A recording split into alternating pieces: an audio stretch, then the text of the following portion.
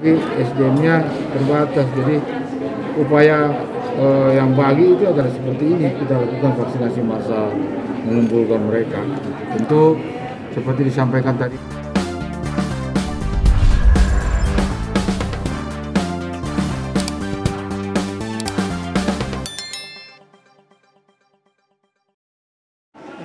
Oh masih di screening. Dari jauh saja. Untuk mengakselerasi pelaksanaan vaksinasi. Jadi kami dari Dinas Kesehatan atas nama pemerintah provinsi itu terima kasih ya kepada Ministry yang telah melaksanakan ini.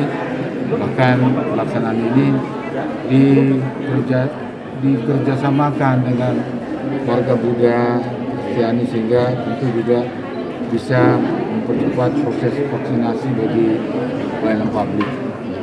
Dok, kalau sejauh ini di Sulawesi Selatan sudah berapa persen proses vaksinasi? Kita sekarang sudah 65 persen dari total 1.500 untuk tahap pertama ini. Tahap pertama ini tenaga kesehatan, publik dan lansia. Nah, hari Sabtu besok saya kira juga ada pelaksanaan vaksinasi massal yang dilakukan di Polda. Jadi itu memang upaya kita untuk mempercepat ini. Kenapa?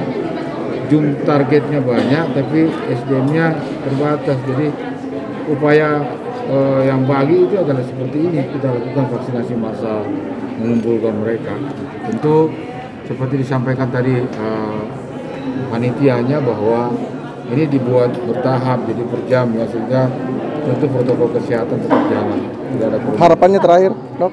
Ya kita berharap semua warga masyarakat tetap menjalankan protokol kesehatan. Bukan hanya karena kita sudah zona hijau kita bisa berbuat apa saja, tapi tentu protokol kesehatan kita harus jalankan. Yang kedua, Bapak Ibu sekalian semua masyarakat Sulawesi Selatan, bawalah orang tua kita, lansia kita untuk divaksinasi. Karena dia mereka lah yang juga menjadi uh, target utama kita dalam vaksinasi. Vaksin pertama itu dilaksanakan internal itu di sebelum Ramadan. Kemudian vaksin ini pertama dan kedua ya. Ini kegiatan yang kedua yang kerjasama Universitas Muhammadiyah Makassar dengan MCC pimpinan pusat. Nah, saya kira ini alhamdulillah luar biasa karena ini ada 2000 orang. Nah, Dan 2000 orang ini tidak hanya untuk keluarga Muhammadiyah, peruntukan untuk pelayanan publik dan juga lintas agama. Ada dari teman-teman saudara kita dari agama Buddha, ada 200 orang, juga dari dari Nasrani dan eh, lain-lain. Jadi ini membuktikan bahwa memang Muhammadiyah itu juga perhatian penuh terhadap NKRI dalam kaitannya dengan bagaimana memutus mata eh, rantai dari COVID ini.